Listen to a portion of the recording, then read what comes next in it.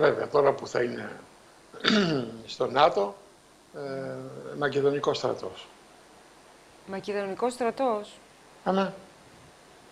Μακεδονικός στρατός. Μακεδονικά και Μακεδόνες δηλαδή και έληξε το θέμα μας. Βρε το κατάπιαμε, το ρουφήξαμε. Το ρουφήξαμε, το αυγό μας το ρουφήξαμε. Τόσο, κάποιος έλεγε τόσο εύκολα; Τι εύκολα. Είδες καμιά αντίδραση, καμιά αντίσταση μετά από τα συλλαλητήρια. Κοιτάξτε, Είδα πριν από είπα... λίγο αυτό το, το, την τραγική φιγούρα, Ποια είναι η τραγική φιγούρα; το συνάδελφο, το Θοδωράκι, τον πήρε το ποτάμι.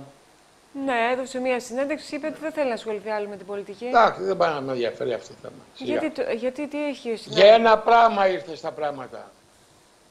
Για να βοηθήσει ο Τσίπρα να ψηφίσει τις πρέσπες. Μη υπάρχοντος του κυρίου Θοδωράκη, ο Τσίπρας θα είχε πάρει το κοντάρι. Τώρα και θα έρθει. Κοιτάξτε, ο Θοδωράκης είπε ότι πολλά έχουν ακουστεί για μένα. Εγώ ήμουν ξεκάθαρος, ήρθα στην Ε, πολιτική Δεν για ξέρω να εγώ σου λέω ένα προσθέσω και ένα. κάτι. Αν δεν ήταν Θοδωράκης, φτάναν τα κουκιά.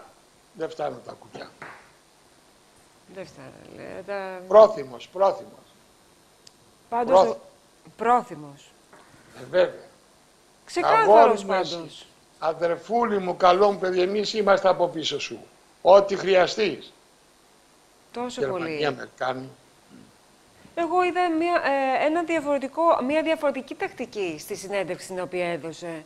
Και μάλιστα ήταν προβληματισμένος και λέει θητεία, τι θητεία λέει, επάγγελμα δεν είναι πολιτική, έκανα κάτι, σταμάτησα, τέλος. Δεν ξέρω αν έχουμε το απόσπασμα. αλλά Άλλο πάμε. σου λέω ρε Σοφία κι άλλα μου λες εσύ.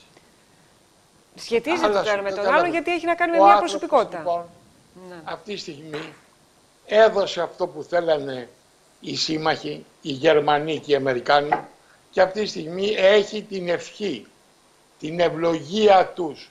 Κάποιοι άλλοι πήγανε κόντρα και του έχουν τρυπήσει τα σωτικά.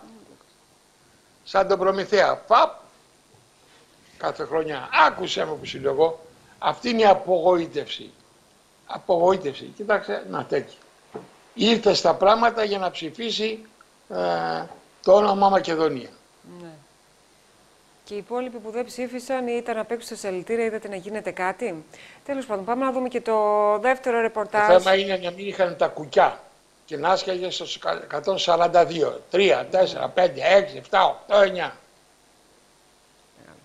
Λοιπόν, Θυμάσαι κάτι κότες και των δύο φίλων που έσπευσαν για να μείνουν δύο μήνες, τρεις ακόμα υπουργοί; Ναι, τη μάχη που δόθηκε εκείνη την περίοδο τη γνωρίζουμε όλοι και ξέρουμε ακριβώς τι συνέβη και πίσω από τις πόρτες. Τώρα έρχονται βέβαια σύλλογοι, λέει, από τις αίρες και δεν θέλουν την κυρία Σακελαροπούλου να εμφανιστεί στις 29 Ιουνίου στις αίρες.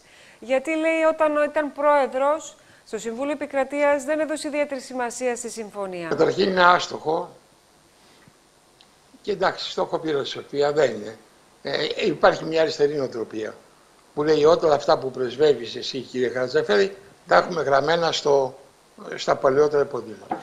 Ναι. 29 Ιουνίου, αν ήθελε να βγει έξω από την Αθήνα και Σιαροπούλου, έπρεπε να πάει μόνο στην Κόρινθο. Μόνο πουθενά άλλου. Γιατί γιορτάζει ο Πουλιούχος της πόλης ο Απόστολος Παύλος. Μόνο εκεί θα πας.